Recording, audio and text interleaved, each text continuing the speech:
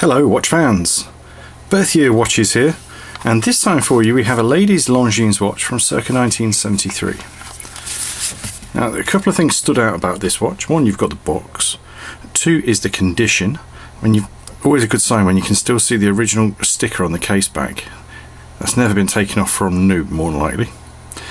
And the third thing that struck us was that this is a gilt watch. So this is gold plated silver.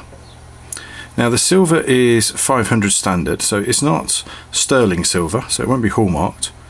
But they were using at least a precious metal rather than just gold-plated steel. Got this nice woven bracelet that's just very straight. It's an integrated design into the case, so you'll need to double check that it fits your wrist. Very clean.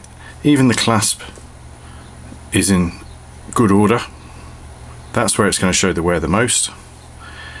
Signed crown, brushed case with this rope work bezel.